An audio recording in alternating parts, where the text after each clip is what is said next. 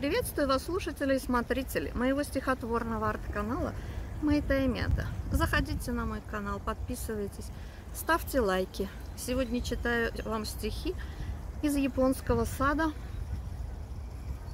в главном ботаническом саду Москвы.